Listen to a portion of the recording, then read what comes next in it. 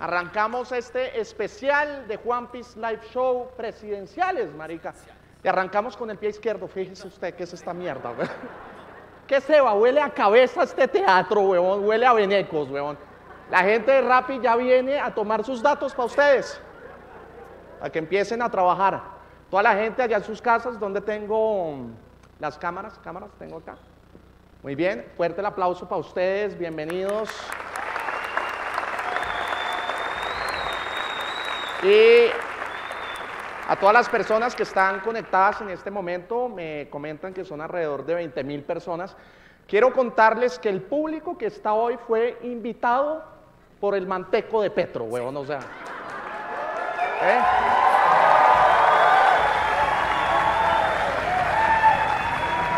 Ya, ya. Dejen el fanatismo, maldita chandas, huevón. Oigan, me dijeron a mí que llenaban todas las plazas, weón. No llenaron este teatro y son 500 apenas. ¡Pura mierda!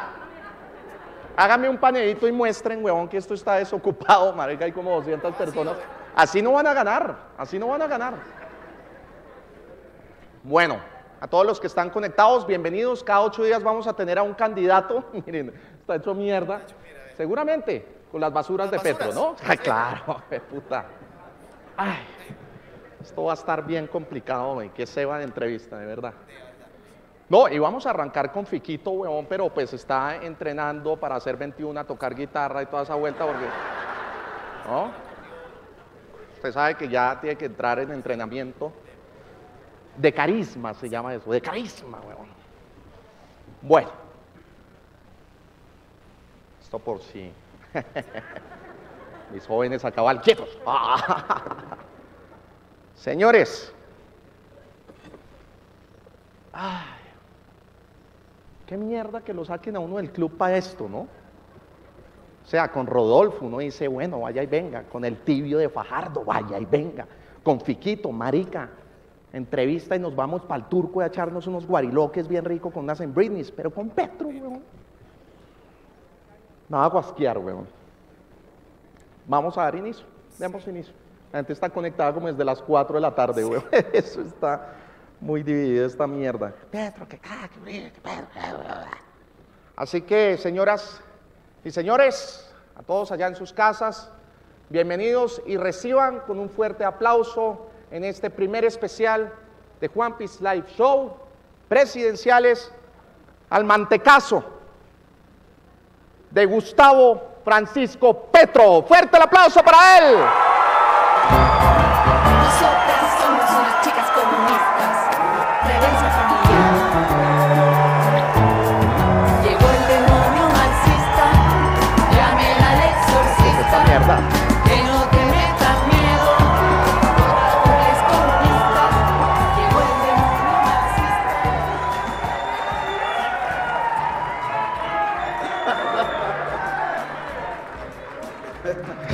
Vamos a empezar acá. Ya, dejemos el fanatismo allá, maldita gala. Siento que van a echar piedras, siento que está lleno de vagos, de vándalos acá. Échese bien lejos, maldita sea, que lo quiero allá. Ya, le vamos a, le vamos a pedir un favor a los mantecos que gritan que la idea es poder llevar una entrevista tranquila y no gritar porque se la cagan, a gritar a esos paruchos que ustedes arman, sí. A vandalizar esa mierda, ¿sí o no? Ahí los tienen. Que mayorías. Mayorías, manicas, no alcanzó a llenar el teatro, weón. ¿Mayoría de qué? Trajo hasta la abuela, al perro, a Tequila, a Filipo. ¿Ah? Mayorías. Así te duela. Así le duela, pues. No empiecen con maricadas que no soy Vicky Dávila, por favor. Mis investigadores sí. Por eso hay veces la información no es real, ¿ok? Por si acaso. Son los mismos investigadores. ¿Qué? Me llamaban a alguien allá. ¿Qué se toma chanda inmunda? Que no le caiga mal. Porque después dice que le dio jet, jet lag y no sé qué mierda. Si empieza acá, sacaremos las banderas rojas. Cagado de la perra ya de Gustavo Bolívar. En vez de ayudarlo grabándolo. Ha sido más huevón, marica. Me putas medio se sostenía sobre la bandera. vámonos a culiarnos a todos en este país. ¿Ah? Será, será una cervecita porque qué más. Espere que no le oigo un carajo. Regálenme acá, es que esta voz es bien complicada, ¿no? Regálenme retorno y ¿qué se toma? ¿Quiere un Petrovsky Mule? Ay, me dicen que es el más caro. ¿Qué? El Petrovsky es más caro, ¿no? Es más caro. Sí. Entonces, un Petrovsky y un Fico Gutiérrez. Entre. Chanda. Un esclavo. Te, Hágase acá para te- oírlo. Te petroficas. De Petro. Gracias. Gracias.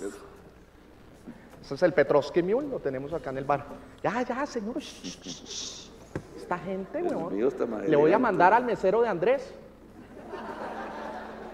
Está más elegante, ¿o no? Pero eche para acá. ¿Ya?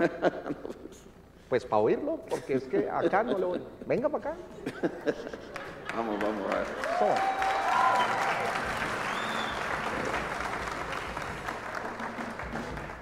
Le tengo todo para que usted juegue. Porque me han dicho que donde hay maní, usted se zampa el maní y lo va escupiendo los- ahí. Los papelitos los voy Tengo los papelitos para que vaya rompiendo los papelitos y tengo esferos para que los vaya volviendo mierda. Hago dibujitos. Y tengo monedas para que vaya jugando con No, las no monedas. Mire, Aquí vamos. porque él empieza a jugar. Hablemos de eso, porque todo el tiempo tiene ahí como un toque con esa vaina, ¿no? Sí, a veces dibujo mientras van hablando. Sobre todo Si cuando- no resulta presidente, pues que le quiten trabajo a Matador o alguna mierda. A veces, cuando habla Fico, me pongo aquí a dibujar un poquito.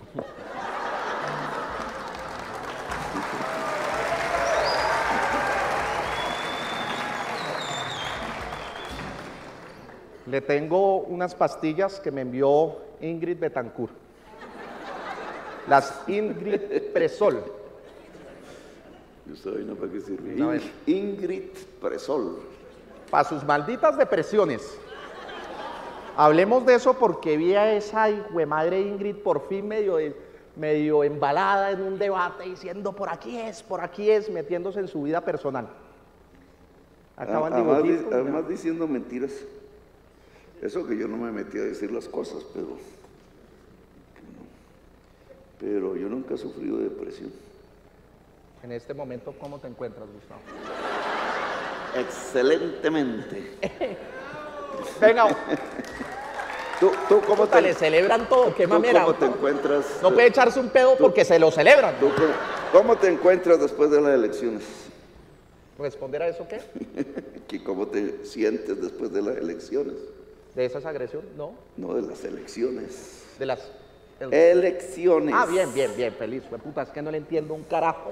Sí, sí, claro. Porque el taxi, el éxito y eso no nos va a funcionar con un presidente que dice el al walking dead. ¿Cómo va usted a estar con nuestros mayores aliados en Estados Unidos en una reunión y decir los caminantes muertos del al walking dead?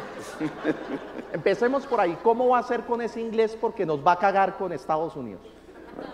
Hablo en español o en francés, pero para hablar en francés no puedo con el tal Petrovsky.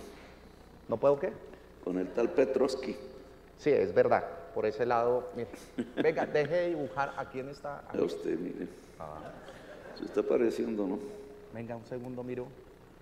No, si así pinta, Colombia se va para la mierda. O sea, prácticamente. Las caricaturas de Petro, weón, o sea. Bueno, muy bien.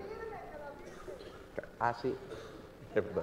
La abuela ya gritando que se la firme. Fírmela que igual la voy a botar ahí en sus basuras. Sobre todo que la va a votar, ya la veo guardándola. Oiga. ¿Listo? Faltó ahí la sonrisa.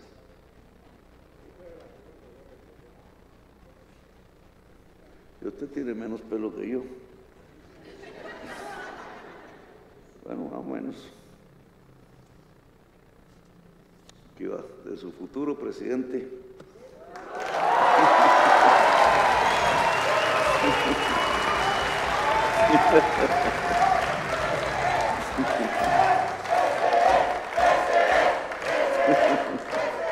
Esto va a ser una mierda, huevón.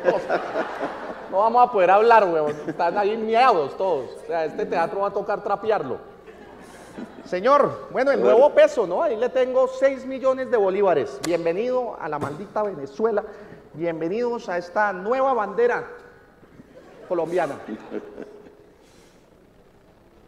A ver, ¿por qué, las la, ¿por qué la quieres cambiar si ya la volviste? Tú volviste a Colombia como Venezuela. Yo la volví así. ¿Y tus amigos? ¿Cuál es? Solo cuál? petróleo, todo importado, mucha hambre, mucha desigualdad, la gente yéndose. Pero acá en la ciudad no, o sea, hay que salir. Dueño No del vamos Poder a empezar. Judicial, dueño de la Contraloría, dueño de la Procuraduría, dueño del gobierno, dueño del Congreso, la misma vaina, ¿o ¿no?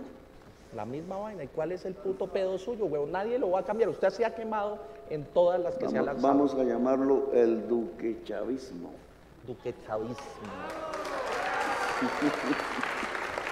Vengan, salgan, hago la entrevista y vuelvo porque esta mierda va a estar imposible, huevón. Todos se lo celebran. Muéstrame una diferencia. ¿Mm? Una diferencia. No, mire, por ejemplo, acá hay muchas personas como yo que gozamos de todos estos privilegios, que estamos bien. ¿Mm? ¿Cuál es el problema? Sí, hay hambre, en el mundo hay hambre, Gustavo. ¿Y cuál es el puto problema? O sea, Gustavo Petro nació y se va a acabar el hambre en el mundo y todos vamos a ser iguales. No. Eso es lo que usted quiere mostrar, o sea, ¿Cuánta- coger y meter a toda la gente del sur por allá en las setenta y pico, meterlos en unos apartamentos en Rosales. No, no, no, no, ese chusmerío me lo deja donde está. ¿Y por qué estoy hablando así? Ay, Dios mío. ¿Por qué se me va ese momento incómodo? A ver, ¿cuánta hambre habría en Finlandia? ¿Mm? En Finlandia, ¿cuánta hambre habría? ¿Cuánta Oye, hambre? ¿Qué? ¿Cuánta hambre hay en Finlandia? No. Dinamarca, Suecia, Suiza. No hay. Ya estamos bien parecidos acá. Nos acercamos. ¿Cuánta hambre hay en Costa Rica? Poca. Sí, no, no hay. ¿Cuánta hambre hay en Venezuela? Uf. Viajado, pues ya, ya no hay gente allá, están todos acá. ¿Cuánta hambre hay en Colombia? Esos datos no los vamos a dar acá porque no va a ser su Entonces, entrevista. ¿quién se parece a quién? ¿Quién se parece a quién? No, no, no me va a inventar esas huevonadas acá. No, no empecemos con maricadas. Pero te estoy Coma maní, coma a maní, través de un recorrido del mundo qué se parece a qué.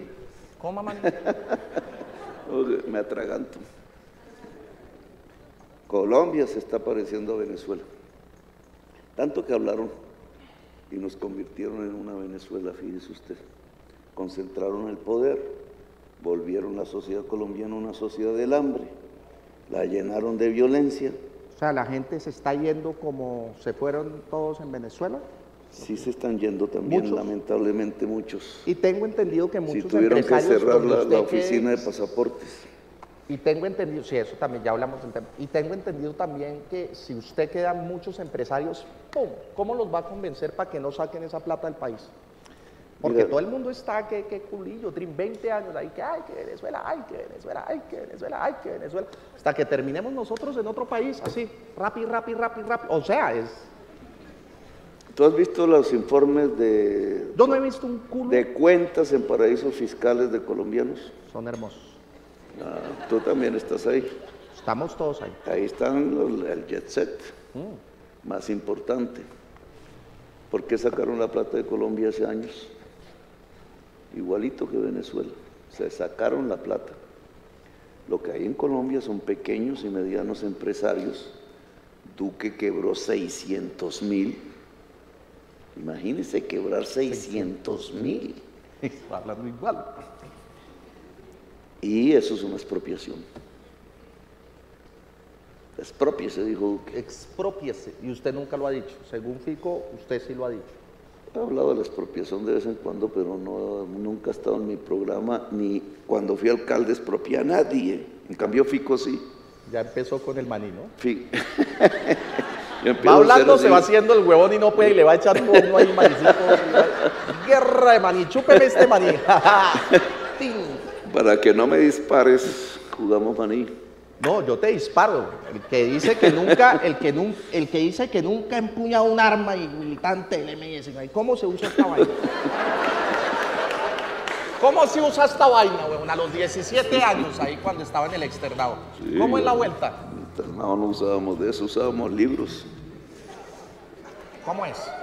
Que en el externado usábamos libros, no usábamos de eso. Ay, no sea tan huevón. Que no veo ni un libro por aquí, fíjese. ¿Lees? Piece? No leo ni ¿Lees? pues, me he leído, me acabo de leer el último de Marvel. es muy bueno. me escribió Di- Diva Yesurum. Brutal ese libro, huevón. Brutal. Es el único y de resto, pura farándula. 15 minutos y toda esa vaina, no leo nada más. Entonces, acá no vinimos a hablar de eso. Este es un programa más rela después de nuestro debate que vamos a tener en mayo, donde los vamos a tener aquí a todos en el debate de Juan Piz González. ¿Listo? Ya, cálmate, rata inmunda, huevón. Canta como gritan de todos lados, huevón. Cu- Cuidado que tiene un fusil. ¿Cómo se Mierda. utiliza todo? No, yo estoy armado hasta los dientes, mi hermano, huevón. Er- Eres gente de bien. Soy gente, por eso estoy de blanco, huevón. Sí. A ver, Eso no lo Yo prometí no coger nunca una cosa de esas y lo cumplo. y, pero,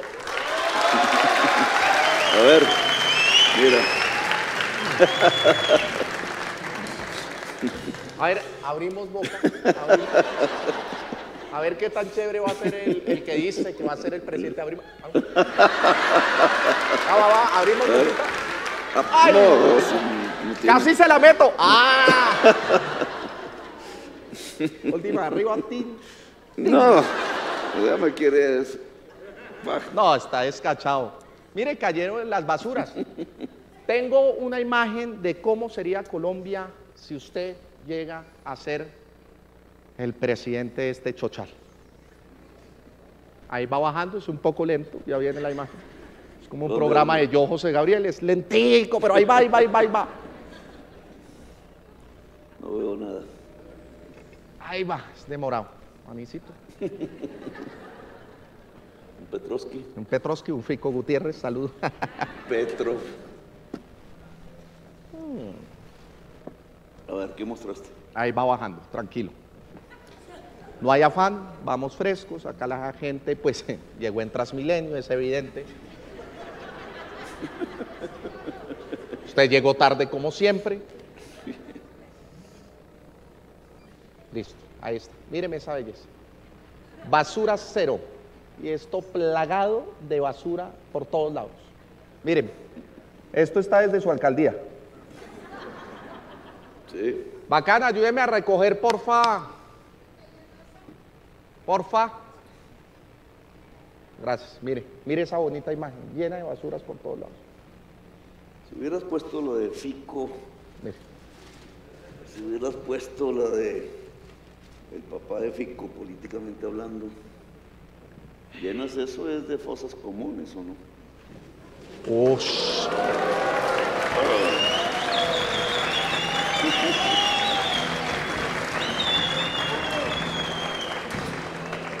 Que apunte tan asqueroso, weón. Te diré que si quisieras poner O sea, esas son fosas comunes para usted. negras, yo hubiera puesto la selva amazónica otra vez, que la quitaron. Sí. Yo hubiera puesto maíz, que lo quitaron. Yo hubiera puesto papa, Lo que la quitaron. quitaron. Hubiera puesto mucho café, que lo quitaron. Ahí para tu gusto hasta cannabis legal, que lo quitaron. Hubiera puesto paneles solares allá en el norte, pero no lo han dejado poner. Agua, la Agua, quitaron, la quitaron. Hubiera puesto Y su aguacate el aguacate, ya sabe que no me gusta. Que no le gusta. ¿No le gusta? el aguacate que nosotros conocimos al principio.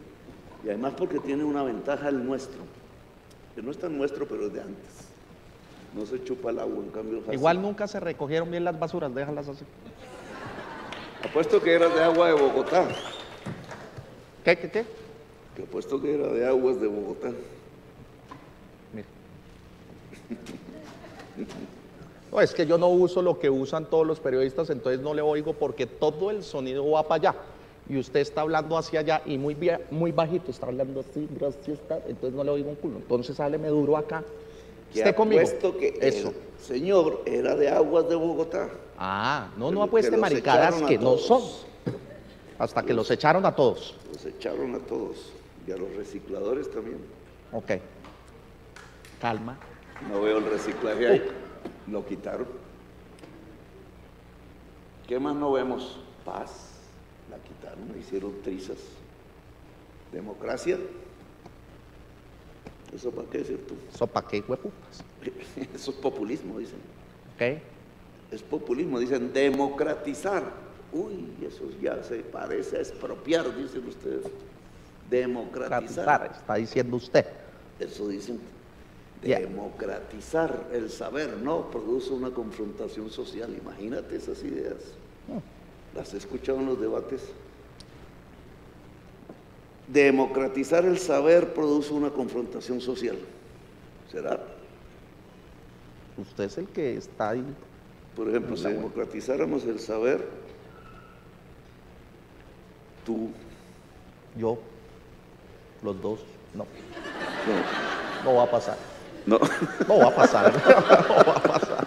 cambiarías. Sí, no, sería horrible. Le tengo un regalazo. Por fin leerías.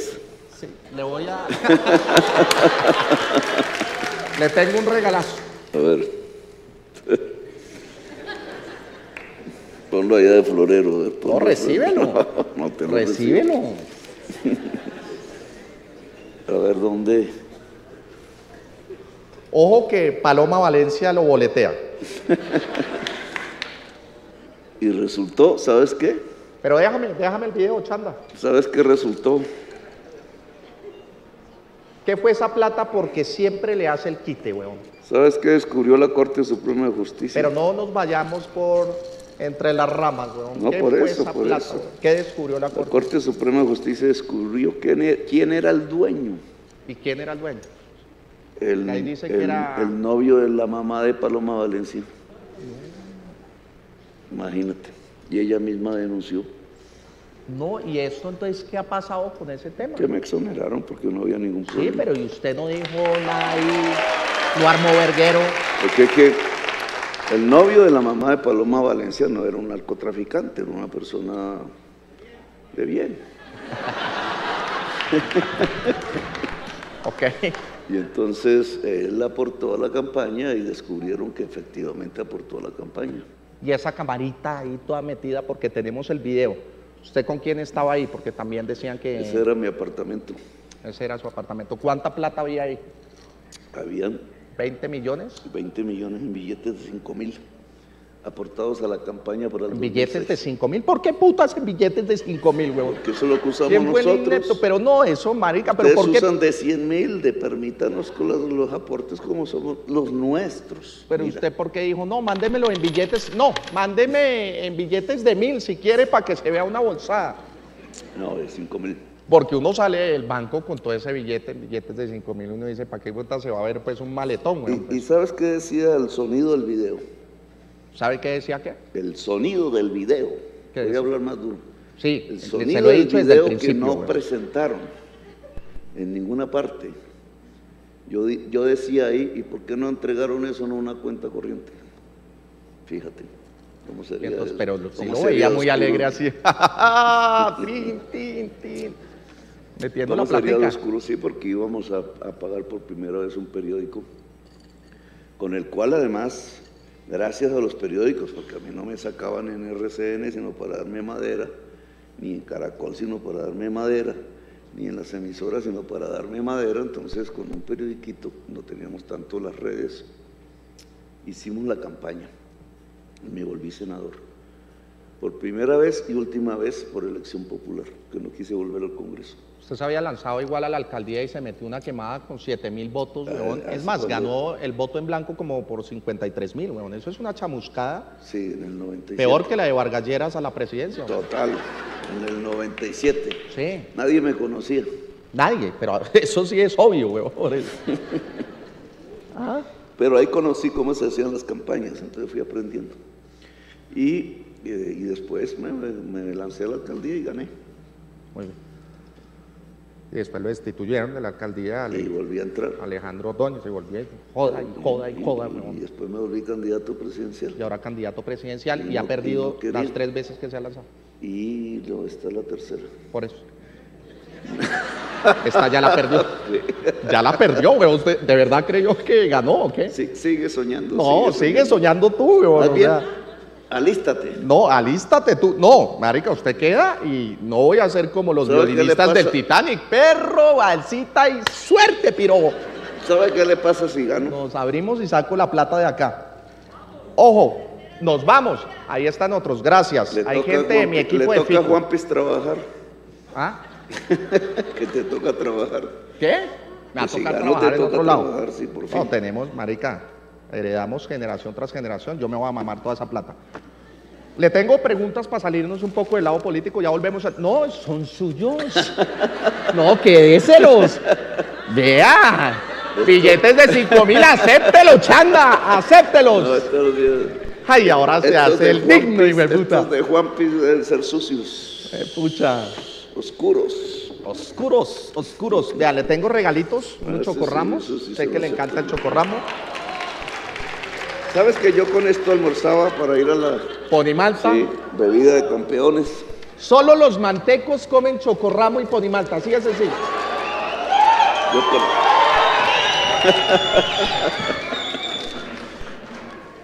Yo con esto almorzaba cuando iba a la universidad.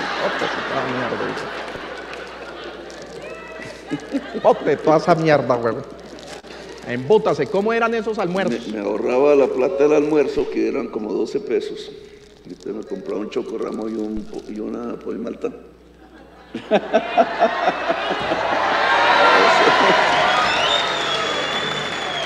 Hay que compartir o no. No me lo voy a envenenar, maldita sea, weón. El, el principio de solidaridad. Hay que Ah. compartir. La verdad, todos están envenenados. Bueno, Para usted. Te- Acá queda como una rata así. Espero, espero ver qué produce. Y entonces me ahorraba la plata para comprar libros. Y así estudié mi carrera. En el externado, porque nos tocaba caminar desde la Caracas. En ¿Usted quería- Mártires, ¿usted sí conoce ese sitio? No, que va a conocer. Mártires, que es en la Caracas, ahí en la, en la, La calle. verdad es que no. Eso viene a ser 10, 11. Y subía caminando hasta el externado que queda como en la carrera 2 este, algo así, En la mierda. caminando. Usted quería estudiar en la Universidad Nacional. la. ¿Mm? Quería estudiar en la Universidad Nacional, ¿no? No, yo podía estudiar en la No, pero Nacional. su papá le dijo que no estudiara ahí, que más bien se metiera al externado, que a una privada, que no fuera huevón. No, toda la Facultad de Economía del externado era igual los mismos profesores de la Nacional. Incluso mataron a mi director de tesis. Sí. En la Nacional lo mató las FARC. Era el profesor Chucho Bejarano, amigo mío, y fue mi director de tesis. No voy a llorar, ¿ok? No, no, es que yo si te digo Chucho Bejarano, A mí ese olor a pólvora es quién es. normal, ni sé quién es ni me importa, güey.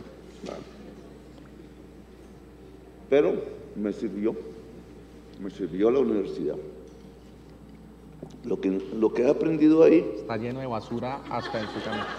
deje de tirar la basura al suelo, hombre. Recicle.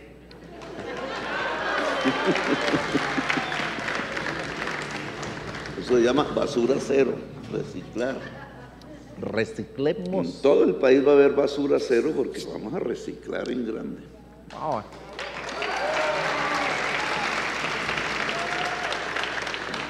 Público tan jodido, no dejan hablar cada cosa. Hola, ¿cómo están? De puta. Saludó, habló, el niño habló. Siente muy apoyado. A propósito, toda esta actividad cultural. Me la va a quitar, me lo va a expropiar cultural, ahora. Artística. No, no la mire mucho, chinos, weón, no la mire mucho. Puta, El teatro. Prohibida la entrada, weón. El teatro, las sillas. Acá está la Esperanza Gómez, musical. que dijo No, que se lo imagino. comería usted. ¿Qué hace usted ahí? Eso dijo. No la conozco. Si la conoce. Le expropio sus calzones. le voy a expropiar esos calzones y esos brasieres y me la voy a echar.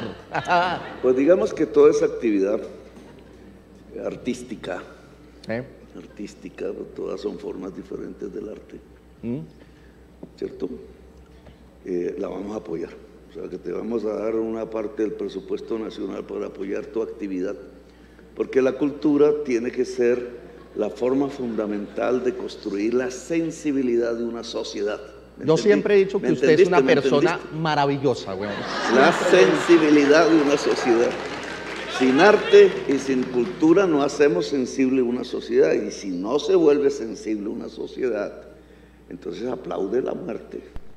Termina normalizando el que miles y miles de personas sean condenadas a ser fusiladas o que millones de campesinos sean O sea, desplazados. por medio del arte vamos a sensibilizar a todo el mundo. Va, va, va a ser más o menos un país bien cacorro. Todo el mundo una sensibilidad, pues, gracias Sí, al hay, arte. que, hay que juntar, hay que juntar dos cosas, el cerebro y el corazón. Ok. Entonces son dos sociedades que hay que juntar. La sociedad del conocimiento, del saber cerebral y la sociedad del corazón sensible. Eso hace que no solamente es matemáticas, física, química, filosofía, etcétera, Ajá. sino arte, cultura, literatura, pintura, música, teatro. Tu teatro, No me tutees. tu teatro, tú Tú, teatro. No va a ser nuestro, va a ser tuyo. Y eso significa eh, un aporte presupuestal al sostenimiento y a una, que espero yo sea una explosión, no de tu fusil, sino de nuestra cultura nacional.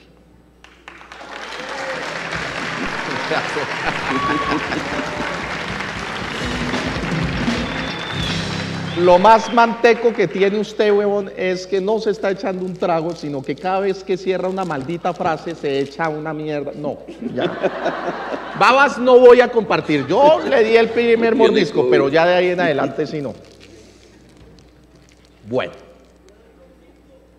Tenemos otro regalo acá. Y es un cuadro muy bonito que espero no lo tenga que, que poner en la casa de Nariño.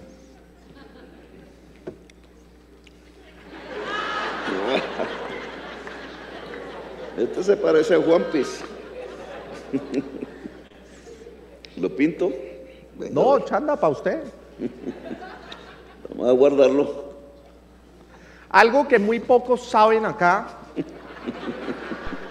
es que el señor que está aquí sentado duerme en peloto. ¿Qué tienes en contra del cuerpo humano? Me lo contaron. Me lo contaron, pero duerme en bola. Hablemos de eso, weón. Y bien lampiño, me contó la mujer. Me dijo, te voy, te voy a decir una vaina, el man duerme en peloto. Mira, ahí se está riendo la mujer. Desde chiquito. Desde chiquito. y vuelve y se echa esa... ¿Por qué esa maña, weón? ah? De dormir así, a la de Dios. A ver, te voy a explicar. Dormir con pijama me ha parecido como estar preso, con pantaloncillos, pero sin pantaloncillos y sin pijama y bajo las cobijas me siento libre. Ok, solo ahí se siente libre. Es su único lugar Me de li- libertad. Me libero. El Bergoski, ¿cómo está, weón? Todavía está bien y goza de buena salud. ¿Y, el, y el tuyo? Goza de buena salud. Sí. O sea, hay que preguntarle a la mujer. Pregúntale. Aquí está su esposa, ¿la podemos subir? Claro. Y puede bailar además. Venga para acá, venga. Nunca sale.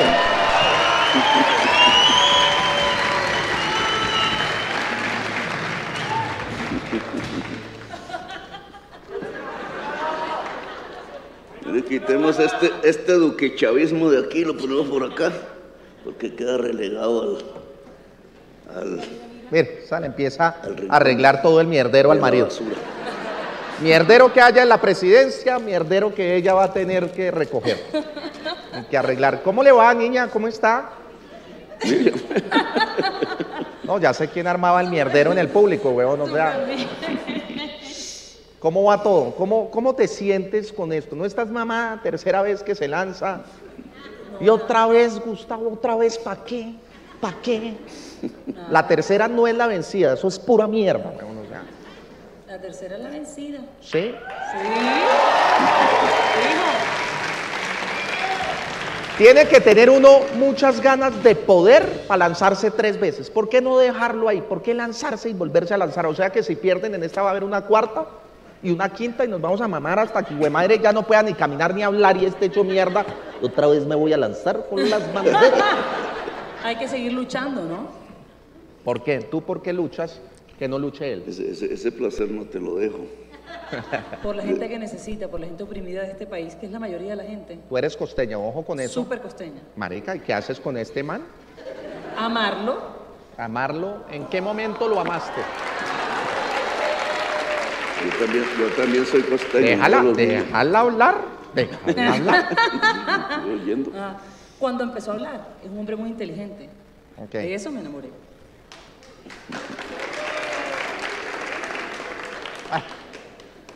¿Cómo fue esa primera salida? ¿La recuerda? La primera salida, Sí. sí.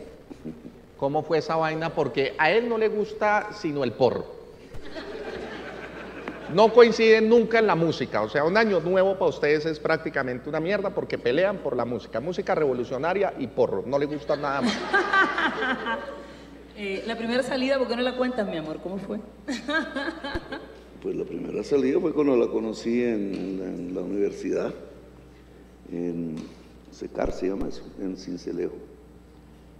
Yo daba una conferencia, entonces ahí miré ahí las muchachas del lugar y dije, "Me, qué mujer tan hermosa. Y La voy a expropiar. yo solo expropio el corazón.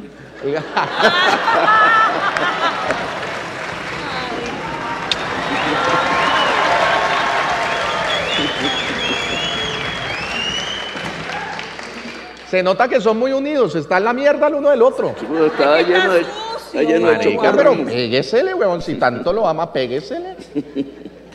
Uy, debe ser lindo ese chal. Es nuevo, Juanpi. Sí, pero está que limpia todo desde que llegó con el chal. Moda colombiana, mira. Ruanas hechas en Nopsa con nuevos diseños. Mira. ¿Ok? Así que estoy, dice- estoy, Vamos mo- a darle. vamos. Estoy modelando moda colombiana siempre. Siempre muestro los emprendimientos, la moda colombiana. Hay que apoyar a nuestros compatriotas. ¿Cómo fue esa primera dormida con él y de pronto el man prum, se lanza en bola? Eh, ¿Qué te diré? Hasta se rió, huevón, o sea, se acordó. ¿Cómo fue esa vuelta? El muchacho, el Bergoski, no se paró del lugar. No, no No, dormimos. no hubo sueño. No dormimos, ahora sí duermen. Recuerdo que me tomé unos copitos de vino en un lugar de salsa. Salsa y música mamerta, fíjate. Qué mierda. En la salsa 40, era, ¿no? la salsa era considerada música mamerta. Fíjate. Eh, aquí en la, Ya vamos. en la cuarenta y pico. Que baile usted con él, entonces que la huevona. Venga, no, usted está que se lo baila desde que arrancó esto. Venga, quiere bajar, baje. Y entonces yo hice. Y viene, oh, Bueno, pero ¿qué? qué? ahí viene bajando un fans, como dicen ustedes, un fans.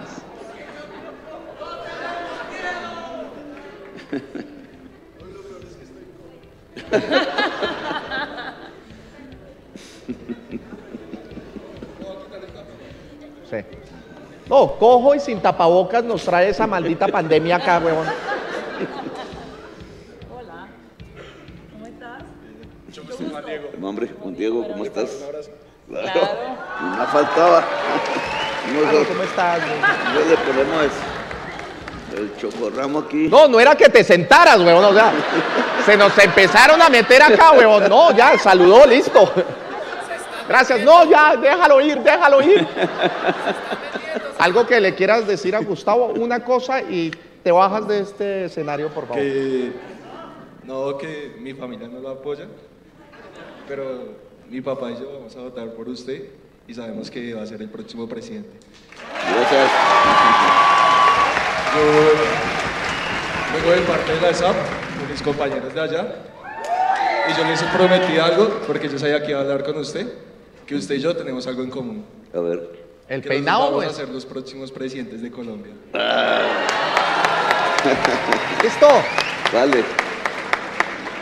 Desocúpame. Administración pública. Administración pública. Déjame. En la SAP. Yo estudié en la SAP. Eh, Estos no saben qué es eso. No, eso, solo la gente teatrera y esa mierda que le gusta como ese arte. Yo estudié en la SAP una especialización de administración pública. Que quiere bailar.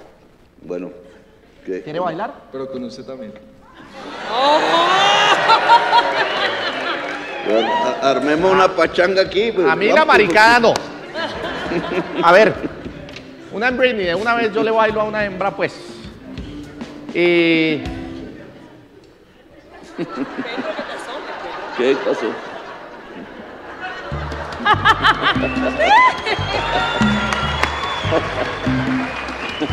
una mujer, una mujer, ¿quién viene? Venga, venga, ¿quién?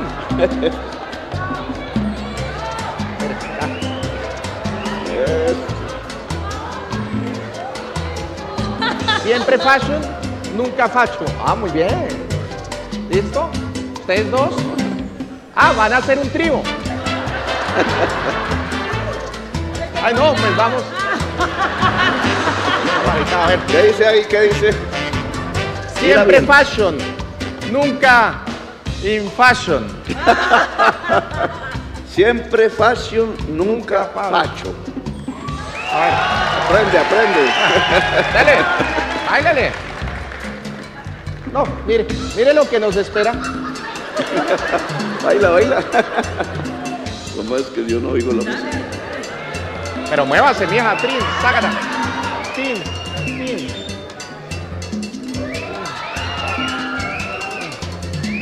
Vamos a darle la vuelta. ¿eh?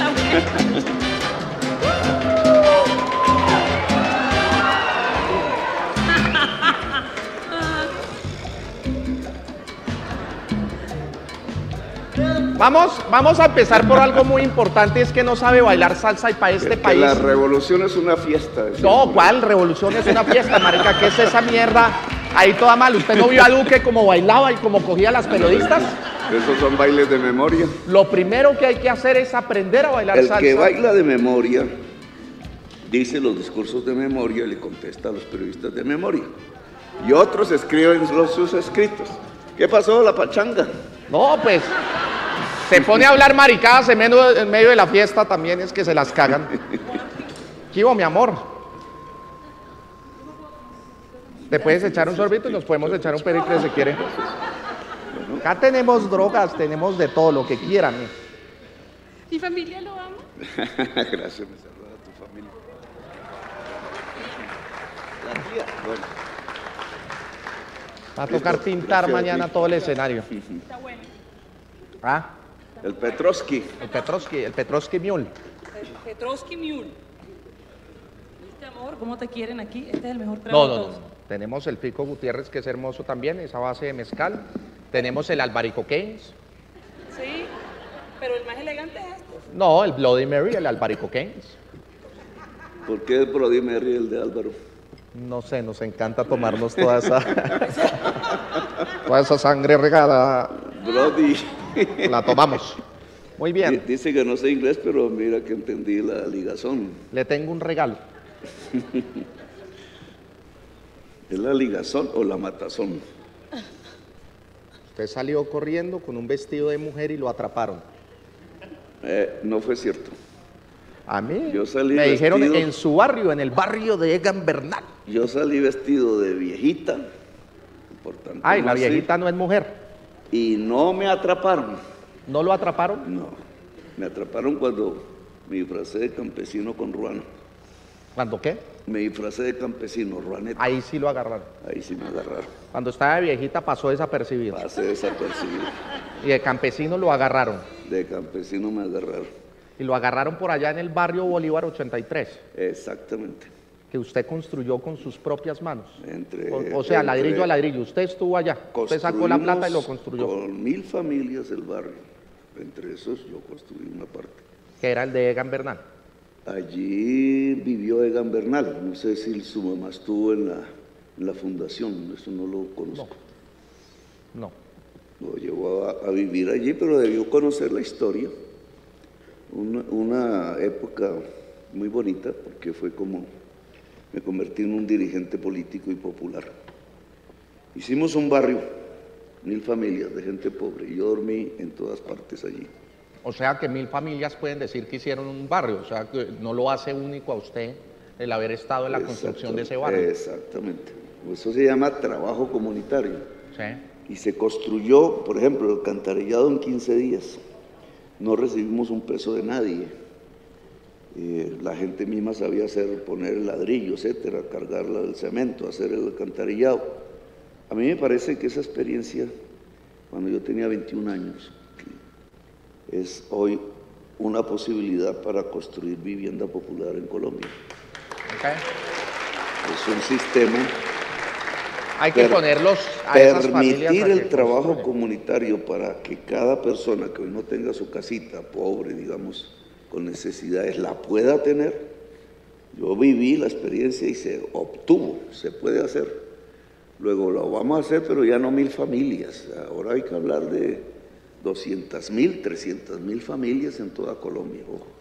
Trabajo comunitario, lotes pagos por el gobierno, servicios públicos puestos por el gobierno y arquitectos y tecnología puesta por el gobierno. El trabajo es de la comunidad y vamos a ver si logramos 300 mil casas para el pueblo colombiano. Va a haber, o sea, va a poner a toda esa gente a construir. Los sábados y domingos cuando se puede. En eso la mujer tiene una enorme capacidad organizadora.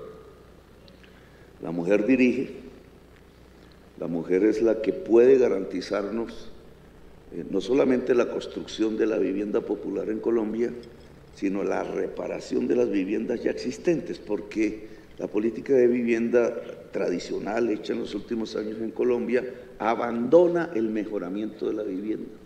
Y resulta que la mayoría de los colombianos viven en su vivienda, pero no mejorada. Y no hay forma de ayudarle a mejorar la vivienda hasta ahora. Nosotros vamos a garantizar, Entonces hay que llenar de mujeres esas viviendas para que las mejoren. hay que A llenar, ponerlas a trapear. hay que llenar de poder femenino Limpiar. esas viviendas. No solamente la vivienda, sino el barrio popular.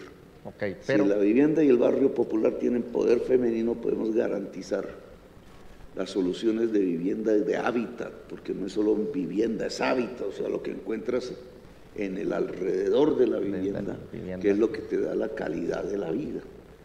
Aumentar la calidad de la vida en el barrio popular es fundamental. para usted la calidad de la vida se encuentra, según me cuentan, desde su casa prácticamente, es en su jardín y en sus perros. Casi que ni le pone atención a la familia porque está pendiente del maldito jardín. Mire, es que, o sea, casi que le ¿Tú qué habla a las matas, prácticamente, le lee poesía a las Ahora, matas. abrazo mis árboles que los he sembrado. Aquí está Antonella que sembró un árbol conmigo. ¿Dónde está? Ven, ven. Y Sofía, Sofía está por ahí. Bueno, Antonella.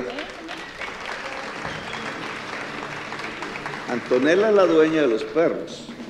Sí, usted tiene a Filipo y a Tequila, ¿no? Felipe. Felipe, eso.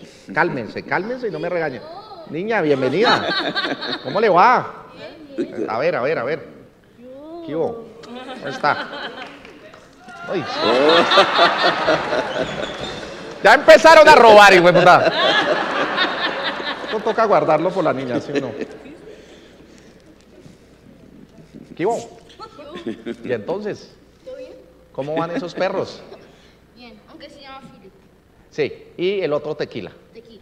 Tequila. Eh, ¿Cuál se encontraron en la autopista? Que era un cocker. Ese no fue una autopista. Entonces, ¿dónde se lo encontraron? Es un secreto. ¿En dónde? Secreto. Secreto. ¿Qué? Es un secreto. No, cuenten. No, no empecemos, no empecemos con secretos. No, ya nos están escondiendo vainas, chévere. A Felipe lo, me lo regalaron. Era mi perro, pero quiere más a Vero y quiere más a Antonella y a mí apenas me mira así como... A mí me dijeron que este se lo casi encontró no en la lo conozco autopista. casi no llego a la casa. Ok.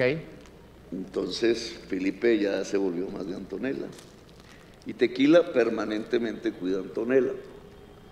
La conseguimos porque reemplazamos a nuestro perro Rayo que se perdió.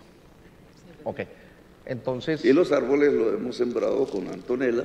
prácticamente los perros criaron a sus hijos. Eso no habla muy bien. O sea, si usted se mama, se va al país y queda en la casa de Nariño los perros dirigiendo el país, prácticamente. Yo he enseñado a leer matemáticas, la matemática. No me enseñaste. No. Mis profesores. Sí, Marica, profesora, mañana en semana, como semana casi no manda nada, la hija le enseñó, no le enseñó Gustavo, miente, miente, miente. Mentiroso. Sí. ¿No te enseñó entonces él? Ok. Y usted estaba diciendo que sí, o sea, se está creyendo sus mentiras, Gustavo. No, no me las creo. Pero fue el que me escribió al liceo francés. Sí, pero no te enseñó a leer. Pero gracias a él se lee. No, pues Pero porque paga el liceo francés. O de pronto, le creo más que los perros le enseñaron a leer. Con eso le... Bueno, hemos enseñado a los perros también. No, no a leer. No a leer. Entonces no te enseñó. Usted sí ha leído mucho. De hecho, a los ocho años escribió su primera novela, según cuenta su padre. Que eso es una locura. fue como una obra de teatro. Una novela de unos inmigrantes que... Hubiera podido quitarte de un niño inmigrante que le fusilaban a sus padres. ¡Qué mente tan retorcida, maldita sea! A los ocho años se imagina parecido a la realidad. ¿sí? No, pero tenía ocho Nada. años, por Dios. Es- Podía estar consintiendo a un perrito, alguna cosa, pero no. Estaba escribiendo una novela donde fusilaban a los padres de un niño inmigrante. ¿Cómo fue esa novela? ¿Se acuerdan? Porque es que me acordaba de Gabriel García Márquez, que comienza así. Sí. ¿Sí te acuerdas cómo comienza? No, y además a usted le dicen, le Juanpis, decían Aureliano. Juanpis, ¿sabes? O sea, ¿te acuerdas cómo comienza? No, porque yo he leído Marvel. Le digo cómo comienza el de Marvel. Con unos collares de perlas finas. Y entre mis tetas tenía una. No, mentira. Y con, y con un marido supremamente generoso, Generoso, muy generoso. generosísimo. Generosísimo. En cambio, García Que desde allá nos apoya. Sigamos, Una sigamos. vez ante el pelotón de fusilamiento. Sí. Es verdad. Seis Y es- mil- 6.402 pelotones de fusilamiento. Hermoso. Y todavía votan por él. Ese debe estar también ardiendo con Fidel Chávez allá en el infierno. La cabal lo dijo. El que escribió 100 años de soledad. Por eso, pero así lo dijo la el Cabal. De los 6.402 pelotones de fusilamiento. Pelotón. Perro. Que ladra no muerde.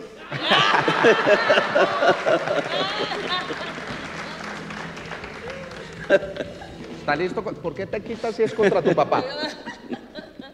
Bueno, ¿seguimos? Por favor. No, no he parado. Hoy.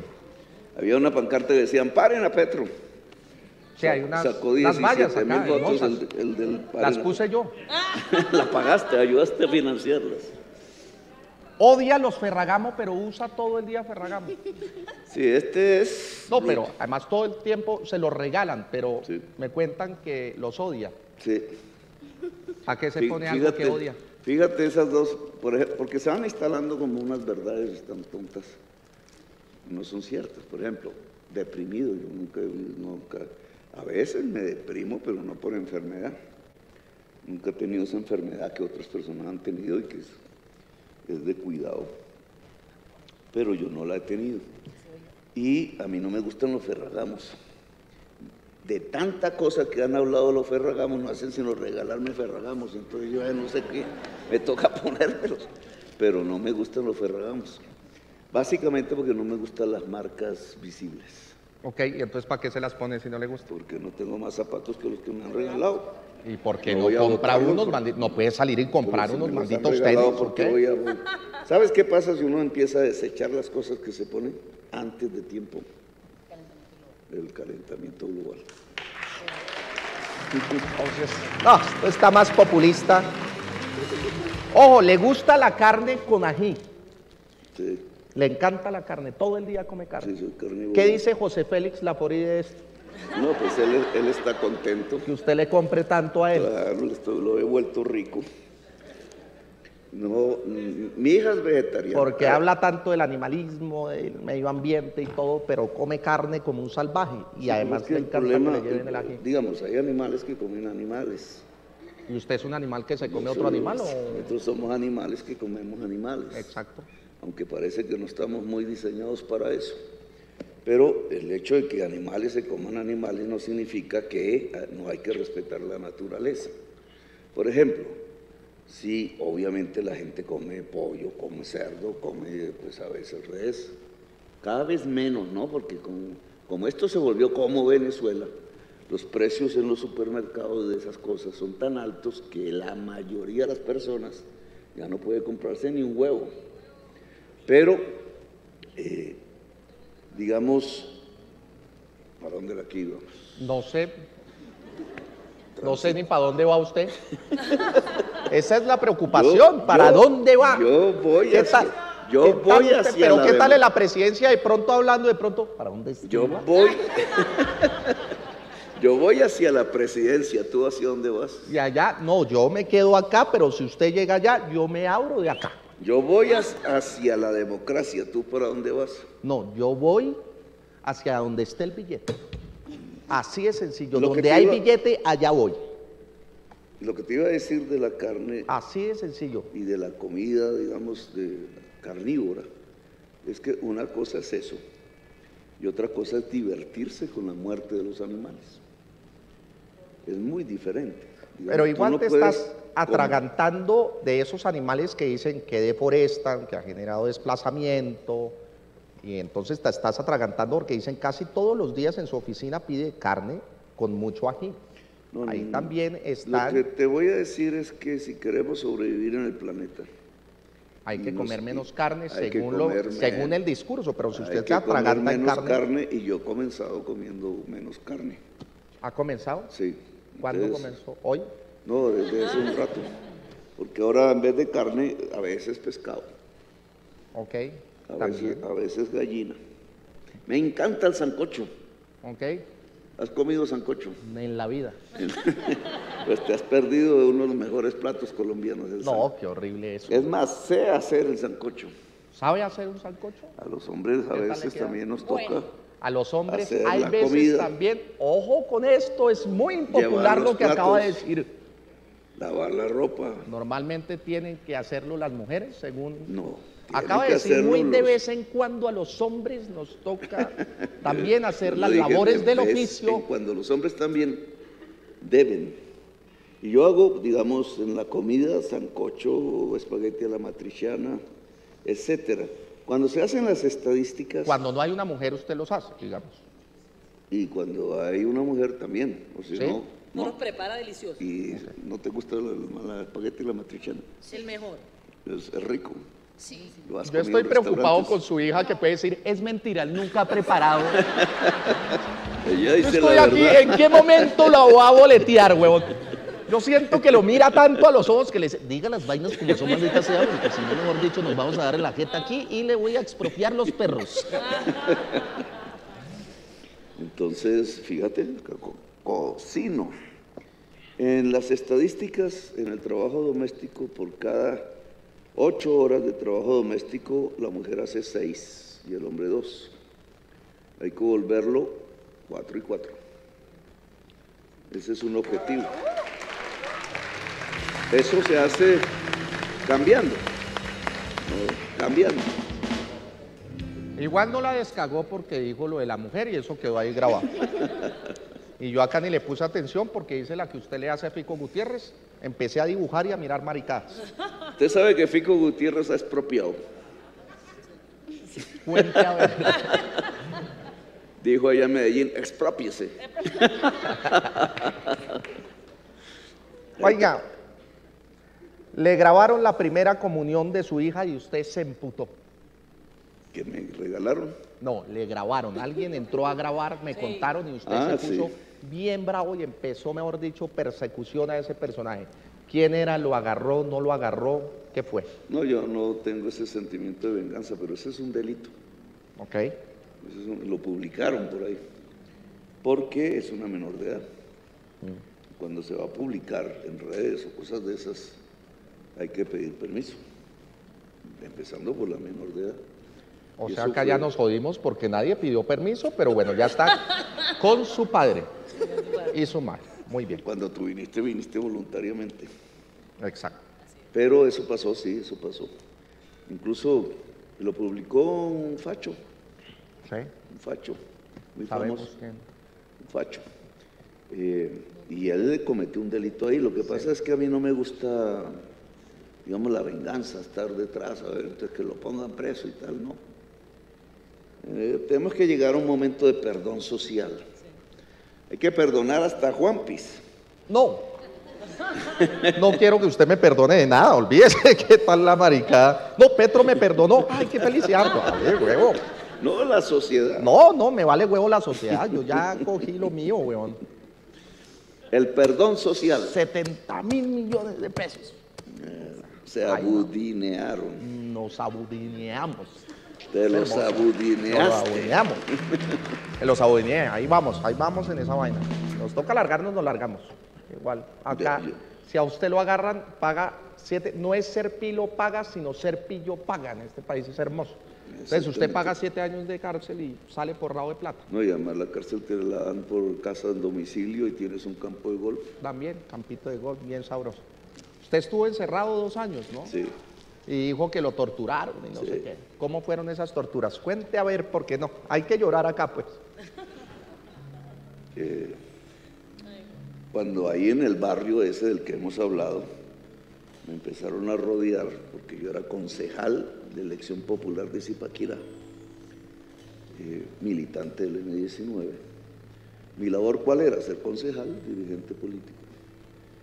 Había sido elegido por el pueblo. Y eh, vino la ruptura del acuerdo de paz entre el M19 y el gobierno en 1984. Y yo cometí la torpeza, muy franco, muy de decir que yo era militante del M19 y hasta llegué. Porque empezó una persecución, me rodearon con el ejército.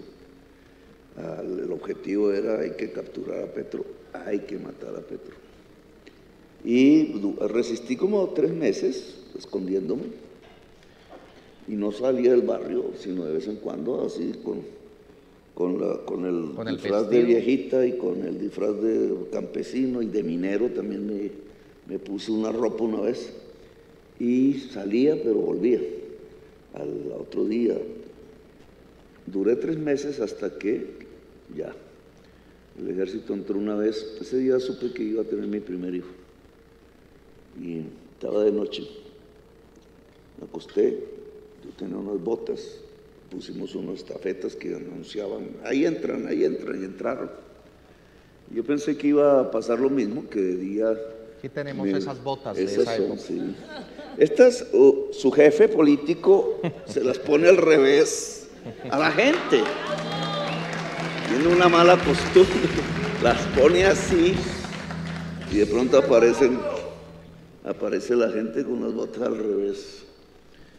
Bueno, también son 6.402 el duquichavismo y las botas al revés. Ahí vamos haciendo, Ahí va siendo. ahí voy haciendo su símbolo. Bien. El- bueno, y me llevaron, ya me capturaron, me, me llevaron al Cantón Norte. Yo no conocía mucho Bogotá, pero me di cuenta por las canteras que había atrás. Y allí estuve unos cuatro o cinco días sin comer nada, sin dormir. No podía dormir porque lo dejaban uno esco- esposado debajo de los caballos que usan ellos, era la escuela de caballería. Y los caballos esos, esos hacen así. Y entonces uno no puede dormir ahí nada. Y en medio de eso, así, sin comida, sin, sin, sin dormir, ellos entran, van golpeando, siempre hacían las mismas preguntas. Siempre. Había uno bueno y uno malo. El malo era el que golpeaba, ta, ta, ta, electricidad. Había una cosa que llamaban la vaina china, pero yo nunca entendí en qué consistía eso, porque era una gota que le caía a uno toda la noche. Eh, y el bueno te decía, chino, ya lo vamos a sacar, tranquilo, usted puede seguir estudiando, usted va a ser un gran eh, profesional porque ya acabó la universidad y tal. No, pues no se imaginaban a quién tenían. Ni yo. O sea, usted es el puta. Ellos no Ni sabían. yo. O sea, usted le faltó decirle ahí, usted no sabe quién soy yo, prácticamente. Sí, me faltó. Ellos sí decían, usted no sabe quién soy yo. Y llegaban con... con- Y espérese, hijo de madres, y Yo por eso no la rabia con ellos. Yo no tengo rabia. Hubiera podido saber quiénes eran, porque ellos entraban con capucha. Y después, años después, siendo congresista, etcétera, 20 años, hubiera podido averiguar quiénes eran. Nunca hice ese esfuerzo porque en mí no nace el sentimiento de venganza. No quiero llenarme de eso. Me parece que el que se llena del sentimiento de venganza, el que odia, se enferma a sí mismo, porque eso son energías. Y eso nunca lo he tenido yo en mi interior. Entonces nunca busqué quienes me torturaron, no tengo ni idea, deben ser ya unos viejitos. Espero, unos abuelitos, ojalá. Pero yo sé que usted hace todo por salvarse, sé que lo hace, porque una vez se fue a Suiza y se botó a una piscina como de tres metros de ¿Quién ha profundidad. todo eso? Tres metros de profundidad. Y el muchacho, pues, si no sabe nadar, así puede ahogar al país. Y se estaba ahogando y apareció la hija nadando. Y en vez de salvar a la hija, se agarró de la hija y la empezó a hundir para salvarse usted. Así Ya- puede ser ya con el pa- país, ya, señores. Ya parece tengan usted cuidado. Ingrid Betancur, oiga. Ese fue un dato de Ingrid.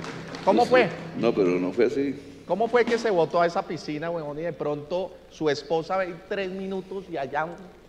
ta, ta, ta, y dijo, se van a ahogar, se van a ahogar. Y usted se agarró de su hija para salvarse. No, no fue así. que eso- tampoco sabía nadar, o sea, Tampoco. El- eso era una piscina olímpica, empezando. Sí. Entonces yo me las dije que paró que podía. era tres metros de ahí para abajo. Yo me las dije que podía. Y Yo nado es con, lo- con la fuerza del, del pectoral, de los brazos, no muevo muy bien las piernas. O sea, no sé nadar. No, no, no, no, yo aclaro, yo aclaro. Sí sabes nadar. Me sostengo. Sí sabe un poco nadar. Un poco.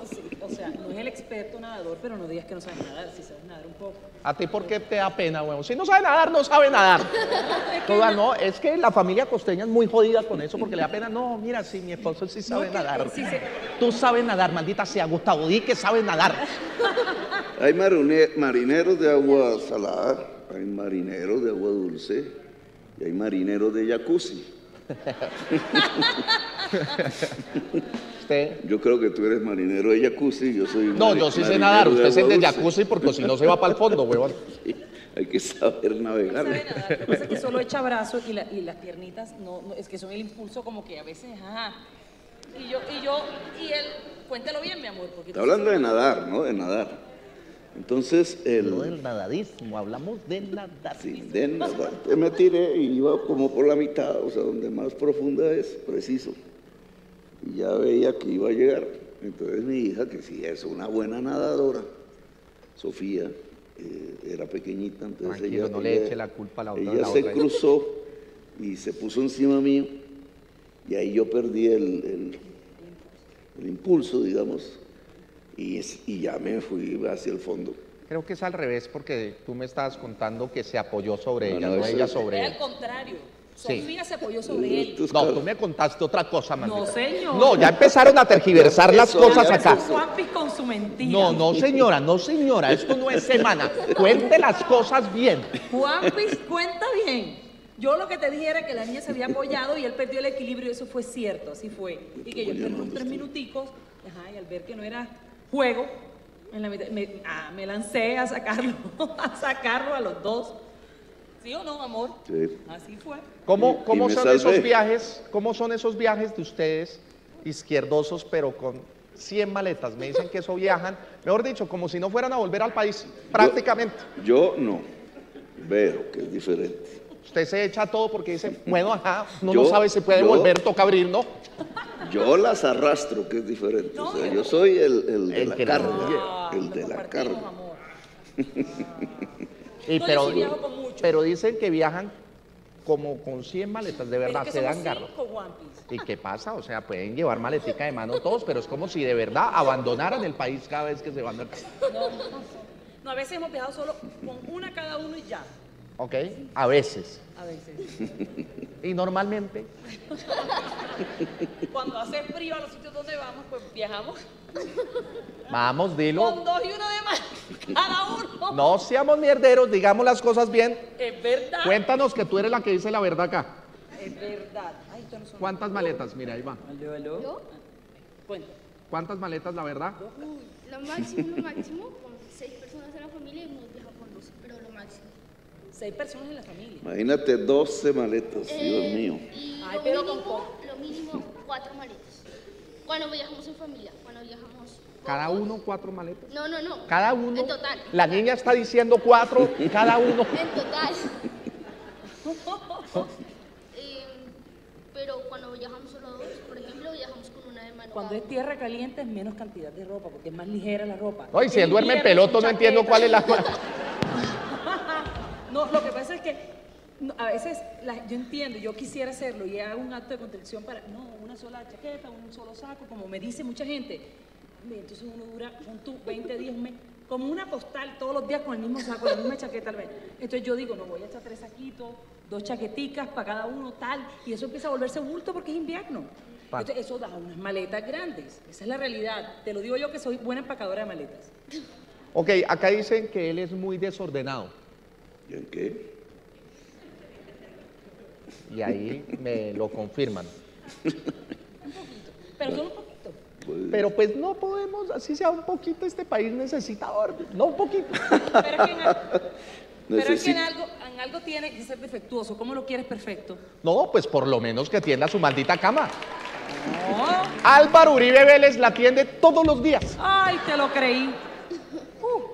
No, no, no. Él, él, él, él colabora. En la casa colabora y cocina muy rico y hace unas pastas maravillosas. Algún defecto uno tiene que tener. Mira, yo tengo el de las maletas. ¿Te fijaste? Eso es un defecto. Yo trato, yo trato, me hago. Y a veces he viajado con pocas maletas, y es verdad, y aquí hay gente que es testigo de eso.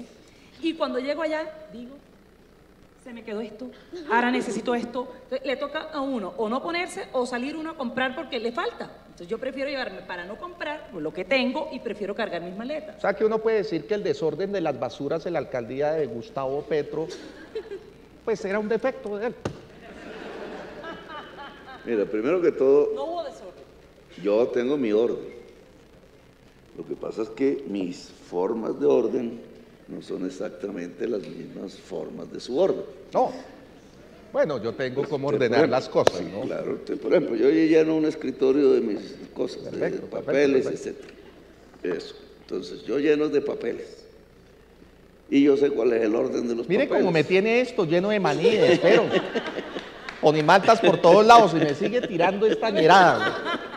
Y ahí, en ese orden, cuando alguien llega y ordena de otra manera, por eso hay que tener diferentes, comprender otras miradas, entonces ya me desordena todo.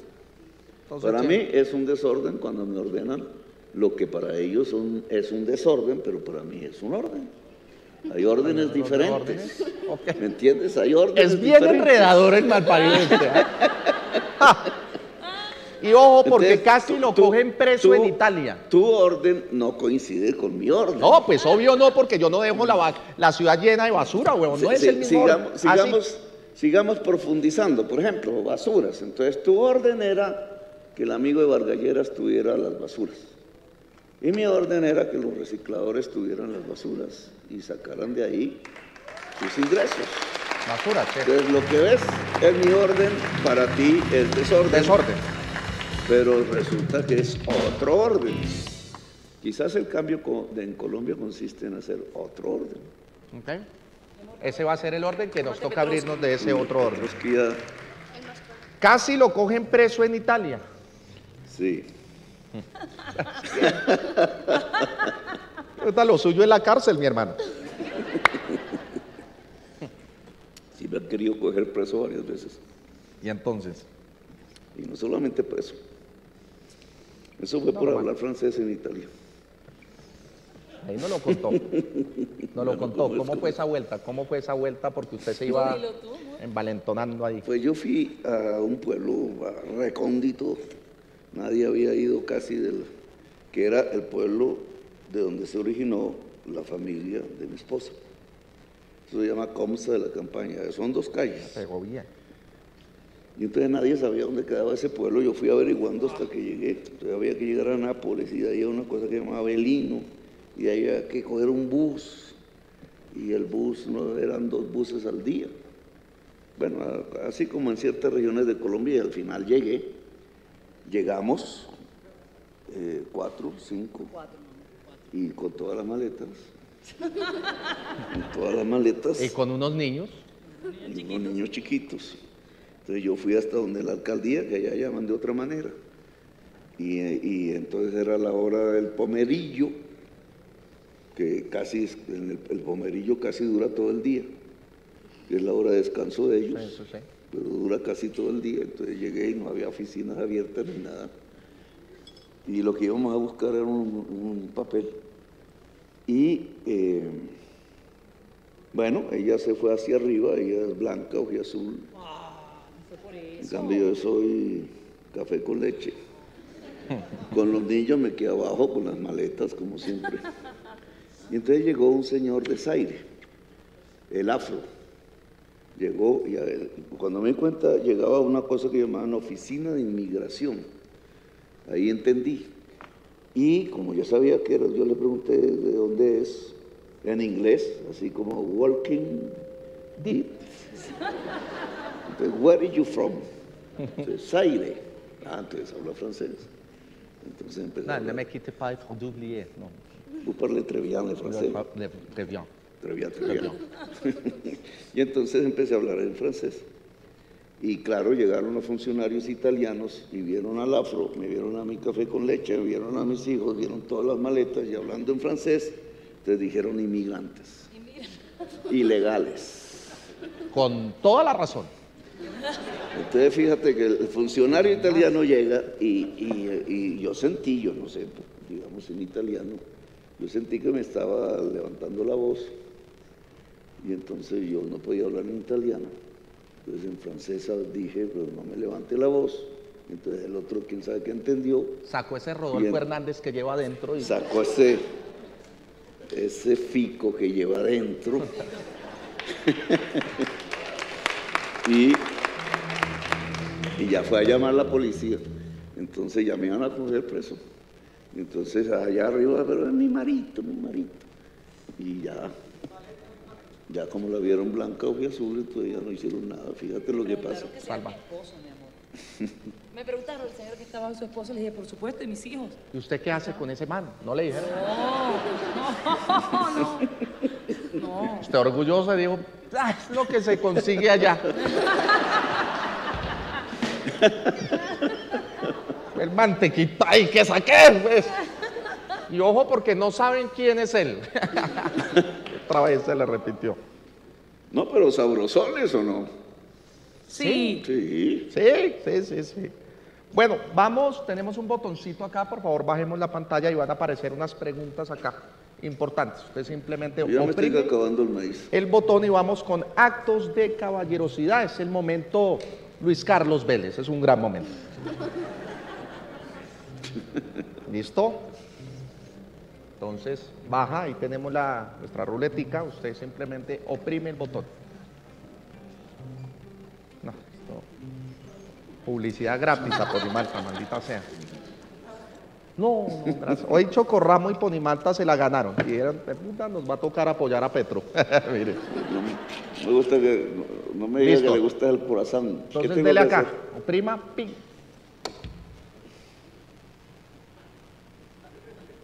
Ahí cae la.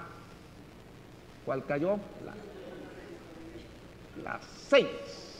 Seis, sí. Eh, yo veo cinco, Cinco. seis. Y. Y no hay sexta. Volvámoslo a hacer. Eso, eso se parece como los formularios de la registraduría Tal cual. No, va a pasar. Así se va de culo, puta. Otra vez, otra vez. Mándela. Solo hay hasta cinco, entonces nos toca volver a repetir ahí. Ti, ti. Ahí cayó. Primero, Dos. No, la 2 sí, la 2 sí, la 2 sí. Ahí está, ok, ok, all right. Mire, léela en tu vocecita, seguirá idolatrando. ¿Y qué le doy? Cinco preguntas. La 2, la 2. Dos, seguirá idolatrando a Hugo Chávez. Esto parece hecho por RCN. Pero por eso era la parte, no me oyó, no me oyó de, de quién era la sección. Muy bien. Luis Carlos Vélez, Ah, muy amigo mío. él. sí, Uh, íntimo, BFF. seguirá idolatrando a Hugo Chávez y Fidel Castro y se hará de la vista gorda con Nicolás Maduro. Se dejará invadir por Rusia. Pregunta Luisky, responde. Yo no idolatro, no creo en ídolos. ¿Y qué tal que Rusia se metiera aquí? ¿Sabes quiénes resistirían a los rusos en estas montañas colombianas? Nosotros los uribistas. Los que fuimos del M-19, los uribistas. No, allá echaríamos bala como en los paros. Se van a hacer negocios petroleros con Putin, Entonces no, pero usted resistiría. claro. Sabemos resistir. Otro. Nada más que se van a aguantar los rusos del calor que hay aquí. Imagínense en el desierto de la Guajira. Uno. Sí. Es que me encanta que usted la- lea las de este señor. Este Luis Carlos Vélez va a adoctrinar a los niños y a las niñas a través de FECODE. Sí, mi doctrina se llama el amor.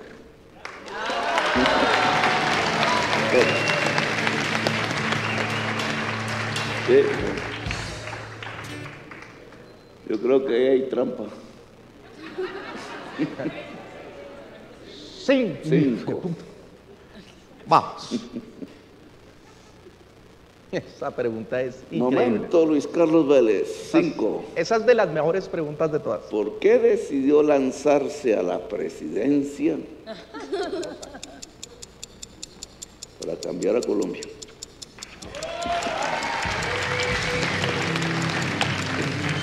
Última. Y se nos fue. Se acabó.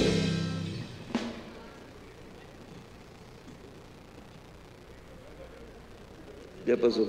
Esta cuarta. De una vez, cerremos la Se fundió, Esta la- es- se fundió. No, pero ya, la cuarta.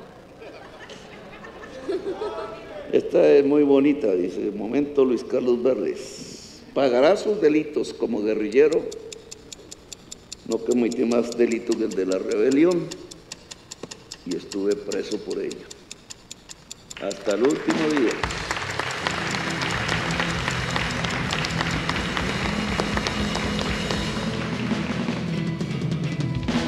Campi, ¿sabes qué es rebelarse? Vamos un segundo a otra sección porque es que habla mucha mierda usted y de verdad, Usted ya está afanado conmigo aquí. dos segundos. Vamos con nuestra sección, dime con quién andas. Aquí está, dame cinco segundos. Hay que hacer así. Cuenta hasta cinco. Muy bien, volvemos, volvemos, claro que sí. Entonces, Francia Márquez, ¿le dará la vicepresidencia? Yo creo que algo más. ¿Ah? Yo creo que algo más. ¿Se la va a comer? ¿Algún ministerio? Te dejo la inquietud, te dejo la inquietud. Pero ¿por qué no dice, marica, 700 mil votos? Diga alguna vaina, hola. ¿Qué le tiene ahí cocinado? Porque 700 mil votos puede merecer algo más. Entonces, le va a dar algo más. Ahí la va a dejar a la pobre. Punto suspensivo. Yo no, el pueblo. Ah, El pueblo. ahí la dejo. Miren, con esa cara quedó. Igual de vicepresidenta no tiene que hacer un culo prácticamente. La verdad, eso no sirve para nada. Eh, Solo para César Gaviria, solo ¿en qué van? César Gaviria, ¿en qué van esas reuniones? ¿Tendrá el apoyo del Partido Liberal o no? Pues por lo que he podido leer, él ya debe estar hablando con Vargalleras hasta ahora, creo que dentro de dos horas con Uribe. se reunirá con Fico, yo no sé para qué se reúne con todo el mundo. No debe definirse, o estoy aquí o estoy allá.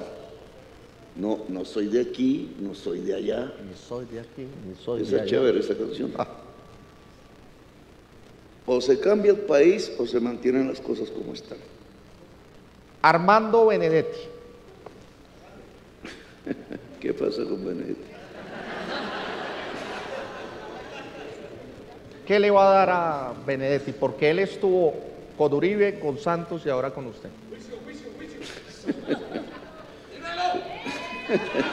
Está, está. Por ahí anda. Trabajo, Pero qué trabajo. le toca trabajar. Bueno, está trabajando, le toca trabajar. Que se ponga, o sea, nunca trabajó. O sea, no sé ni idea si ha trabajado o no, pero esta vez le tocó trabajar. Daniel Quintero y Alex Flores. ¿Cómo va este par? Ellos son amigos. Yo veo que van bien. La pelea de Daniel Quintero contra el intento de apropiación, de expropiación de una empresa pública como EPM por un grupo, me parece que ha sido valiente. Yo me solidarizo con él. Creo que esa pelea hay que darla en todas partes. Las empresas públicas son públicas. ¿Qué significa que son públicas? Que son del pueblo, que no son para hacer negocios, que son para el bienestar general de la gente. Y en esa medida eh, me parece que la pelea de Daniel Quintero es para quitarse el sombrero. Así de simple, para quitarse el sombrero.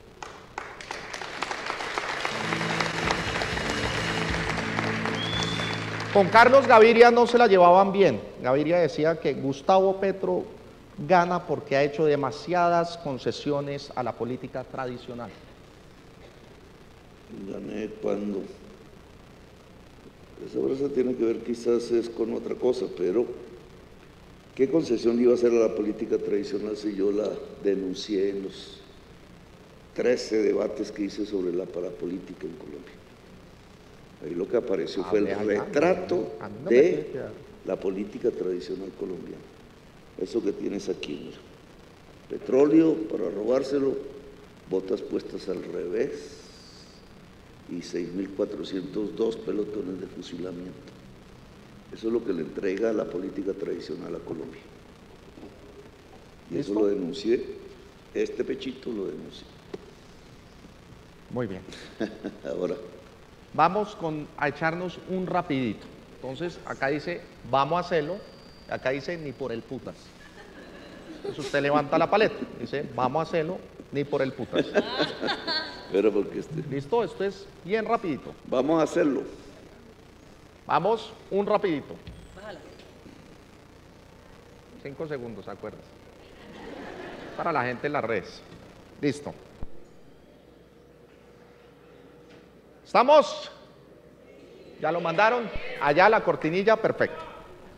¿Regularía el porte legal de armas?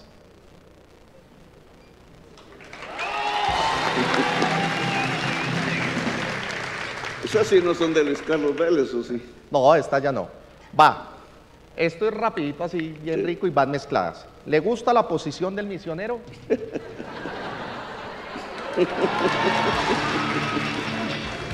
¿Qué dice? claro, tiene que ser un misionero. ¿Está de acuerdo con terminar, está de acuerdo con terminar con los contratos de prestación de servicios para jóvenes trabajadores?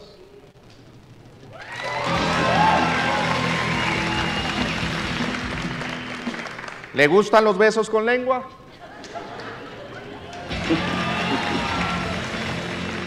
¿Está de acuerdo con la participación de Colombia en la OTAN?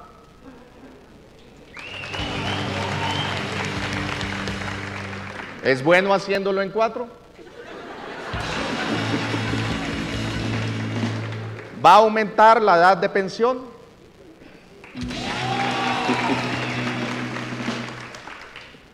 ¿Le gusta la práctica sexual conocida como el pegging? Ahí me tocó, ¿cuál es esa? No se haga el marica.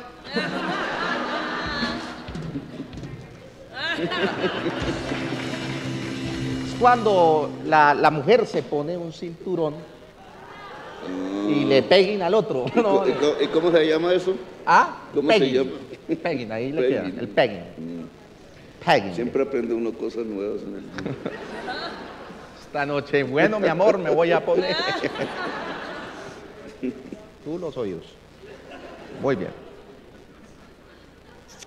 Va a regular el acceso al aborto legal.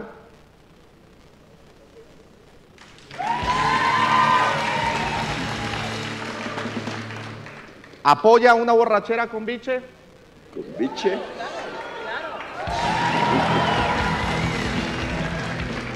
¿Hará una reforma Será policial? mejor que con el Petrosco, sí. ¿Qué? ¿Quiere? No, sí. ¿Qué? Será mejor que con el Petrosco. No, no, no. Déjemelo quietico así. El vodka está hoy on fire. ¿Hará una reforma policial?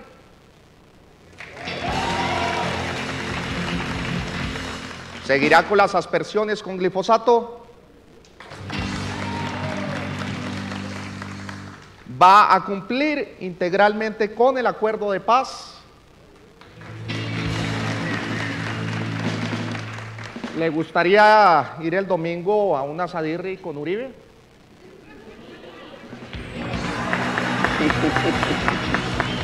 Vamos a hacerlo. ¿Va a acabar con la intermediación de las EPS en la prestación del servicio a la salud?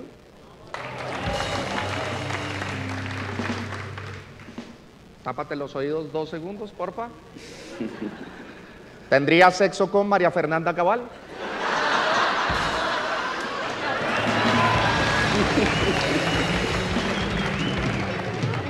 ¿Está de acuerdo con el aumento del impuesto predial? Pues depende.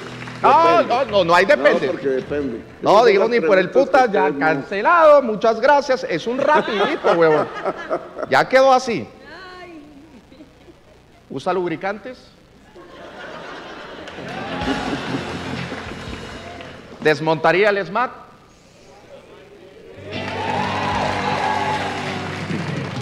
¿Le gusta la marihuana? Así. No.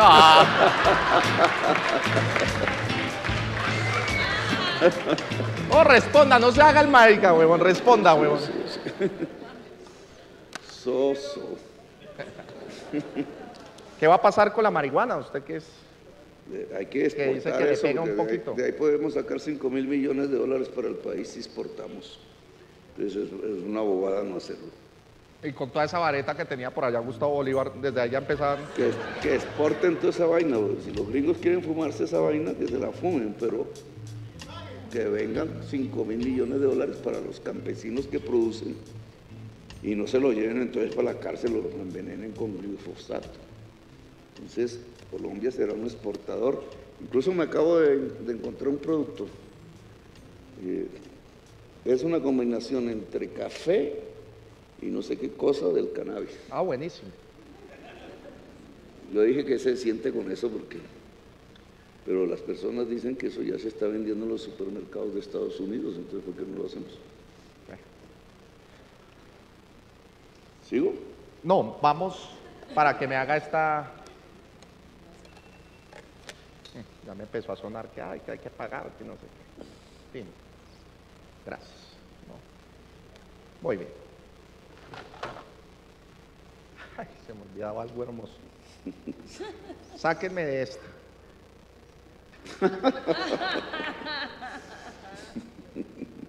¿Verdad, mentira o chisme que le dio un taconazo al muchacho?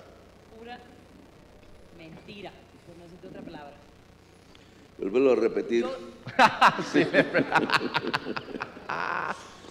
Pura mentira, ni siquiera estaba. Tengo mi pasaporte, puedo comprobarlo con evidencia.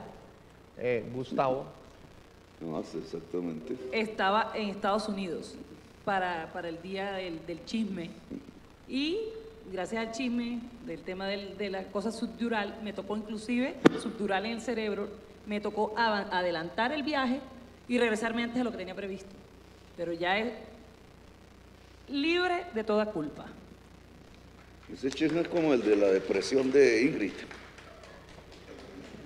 Te sale. Ah, Te sí se asusta, algo Te pasó, combina. hijo de puta. No puede ver un tacón, hijo de madre, porque se asusta.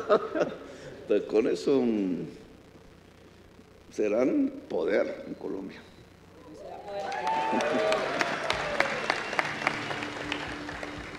¿Qué haría con este candidato?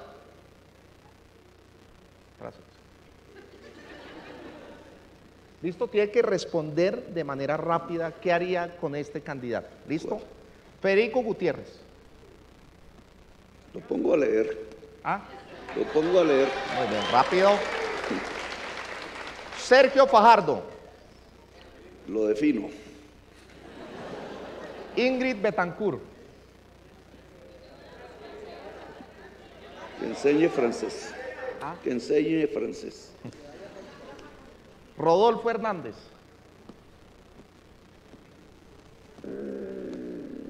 Que se quite el peluquín. Acaba de ser muy sencilla.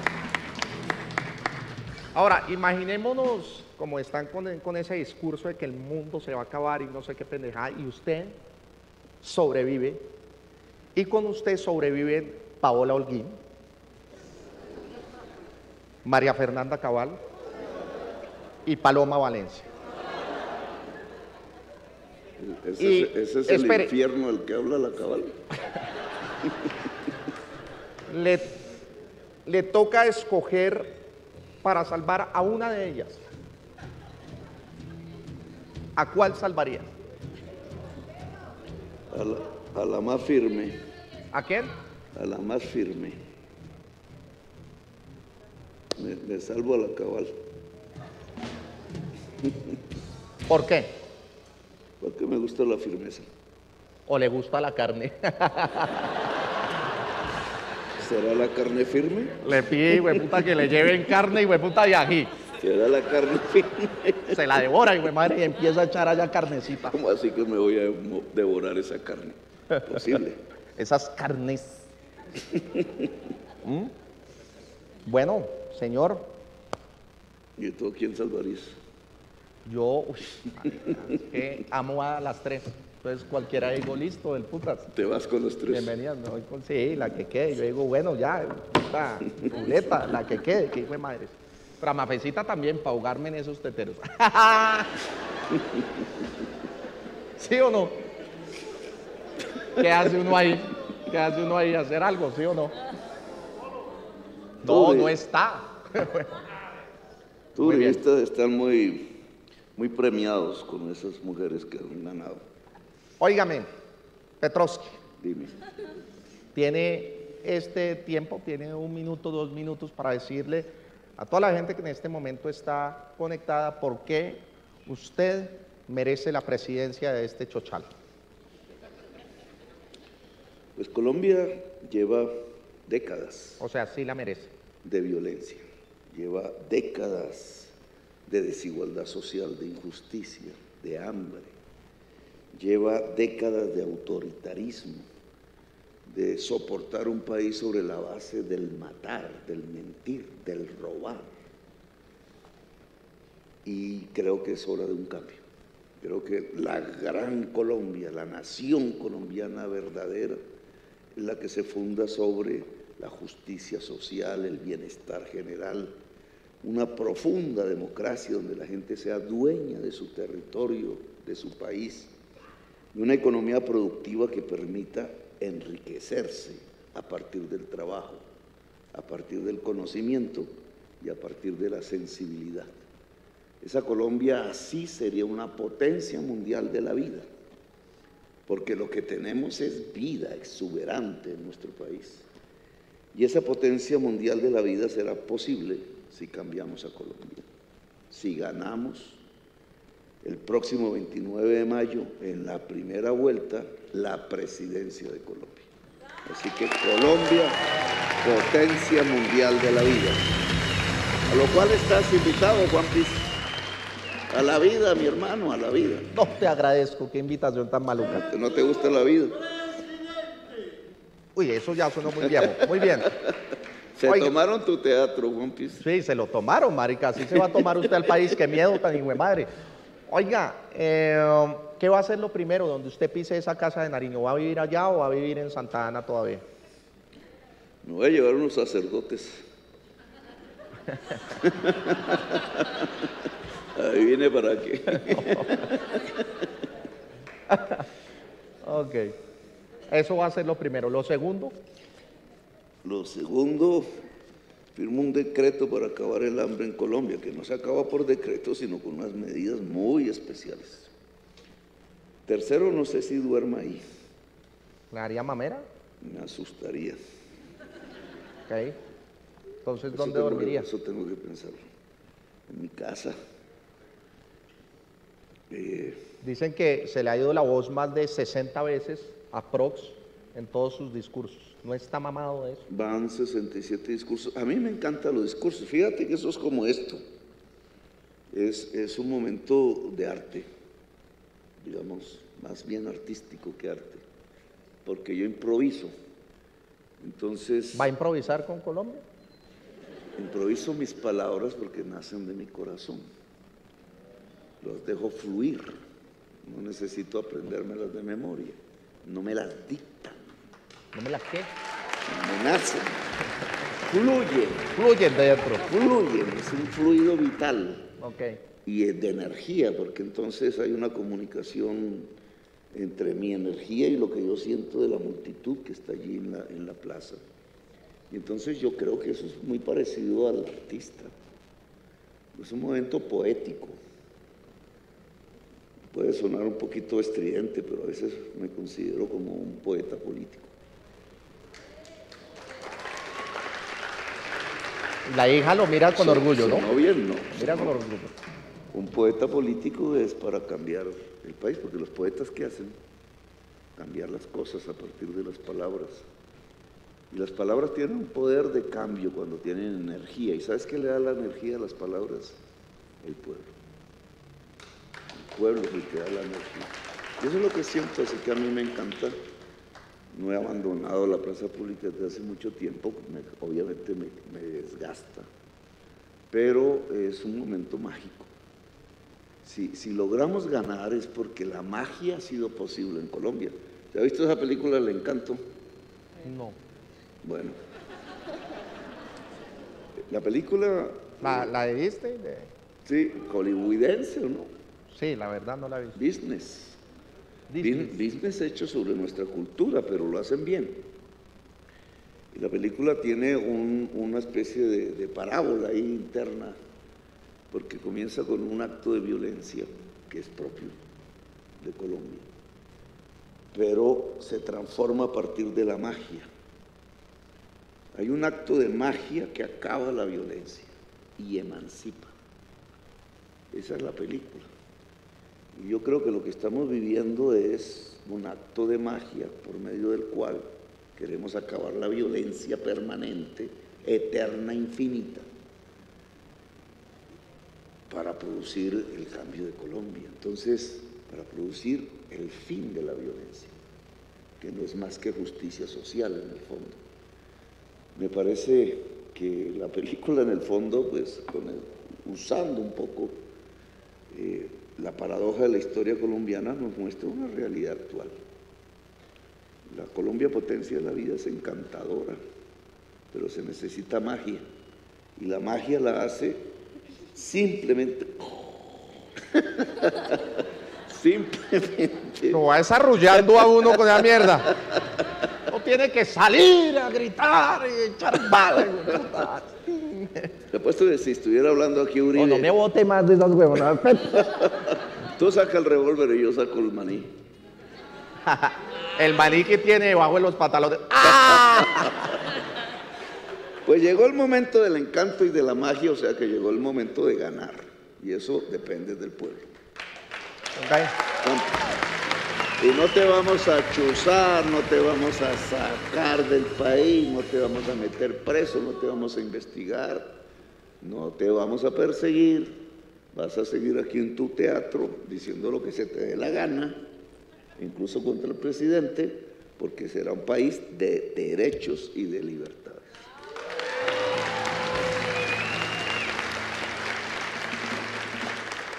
¿Por qué cree que lo odian tanto y lo persiguen? ¿Por qué cree que esa persecución?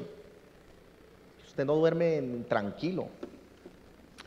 Porque en las cosas como están hay una gente que gana, que se roba el país, que se roba el país no pagando los impuestos que en cantidades deberían pagar, que se roba el país ordeñándolo en sus riquezas, que se roba el país ordeñando su presupuesto, abudineando el presupuesto. Se lo roban. Ojo que lo vamos a demandar por eso que acaba de decir. Sí, yo sé, pues ya tengo como 100 demandas. Sí, pero esta es otra más. Y ese, ese, esa gente que se roba el país no quiere que yo llegue a la presidencia. Inventan los fake news. Hoy estaban inventando que iba a quitar las pensiones, imagínate. Cuando lo que dije era que a todos iba a llegarle una pensión. Y mostré cómo. Lo que pasa es que ahí pierde el banquero. Y entonces no quieren porque creen que un sistema pensional es para el banquero y no para el viejo y la vieja, lo cual es un, un exabrupto. Pero o creen que la salud es para el dueño de la EPS para que se compre un jet privado y no para que el enfermo pueda ser atendido en un hospital. El sistema de salud es para el enfermo y para que la gente no se enferme. Como el sistema pensional es para que la gente tenga pensión, como el sistema educativo es para que toda la juventud pueda entrar a una universidad pública, sino para qué son. Pero eh, eso, esa gente que, esa gente es la que no quiere que yo llegue al gobierno. Y ya. Lee, Juan Piz. No, no va a pasar, weón. Yo voy a contar otro billetico, no este. Oiga, Gustavo, bueno, pues le diría gracias por estar acá, pero pues no. La verdad no fue tan chévere empezar con pie izquierdo esto, pero, pero bueno, no, pues le deseo lo mejor. Yo también le deseo lo mejor a la gente. Empezamos con pie izquierdo. eh, yo también le deseo lo mejor a la gente y a su familia. Gracias, gracias. ¿Usted está lista? ¿Qué piensa usted? ¿Estaba ¿No está mamada? No sé, que no esté en la casa y que esté por allá dando discursos y que le toque andar escoltada y todo eso. Pues, pero él lo hace por el pueblo y unos nos tenemos que sacrificar por otros. Ahí quedó. Eh, ya le metieron el chip. Le metieron el chip. Ahora sacrificar a toda la familia, a los perritos, a las plantas, a todo el mundo, maldita sea. Pues bueno, recuerden todos eh, quienes están acá y también en sus casas, cada ocho días vamos a tener este especial presidenciales, una entrevista un poco más fresca, lo que hemos venido haciendo con el Boletín del Gomelo, que es obviamente y netamente más política, aunque todo acto es político, esto ya es un acto político como tal, el sentarnos acá a conversar, pero eh, el hecho de hablar también de banalidades y conocerlo es la idea de este nuevo formato de aquí hasta el 29 de mayo. Entonces, estén muy pendientes también del debate que va a ser acá en vivo. Y bueno, ustedes muchísimas gracias por venir, espero hayan disfrutado, ustedes también, muchas gracias. Fuerte el aplauso a Gustavo Petro, a su familia.